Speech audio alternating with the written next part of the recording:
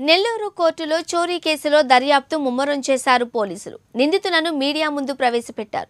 చోరీ కేసు వివరాలను ఎస్పీ విజయారావు వెల్లడించారు. సెల్ ఫోన్స్ ట్యాబ్ ల్యాప్టాప్ మాత్రమే దొంగలు ఎత్తుకు వెళ్ళారని తెలిపారు. రెండు వేల పదహారులో నమోదైన ఫోర్జరీ కేసు డాక్యుమెంట్స్ కోర్టు నుండి చోరీ అయ్యాయని ఎస్పీ వివరించారు.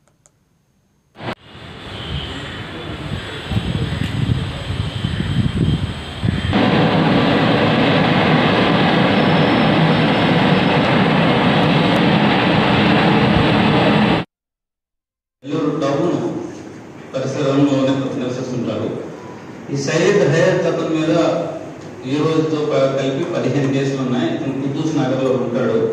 ఈ వివాహం అయ్యి డిస్కార్డెడ్ బై వాయిస్ ఇద్దరు కూడా వీళ్ళ రసూల్ అనే అతను కూడా మన గుర్లు కట్టే ఏరియాలో ఉంటాడు.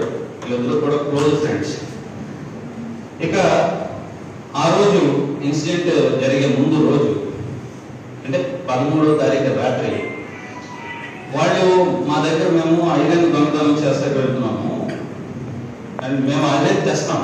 ఐరన్ మేము తెస్తాము. మాకు సహకరించిందని ఒక ఆటో డ్రైవర్ని అడుగుతారు ఒక రిక్షా పుల్లర్ని అడుగుతారు.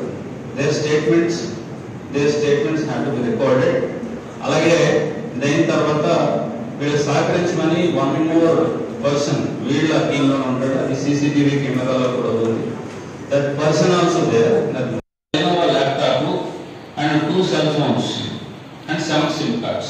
I'm repeating again. One Samsung tab, one Lenovo laptop, four cell phones, four cell phones and seven SIM cards. Seven SIM cards.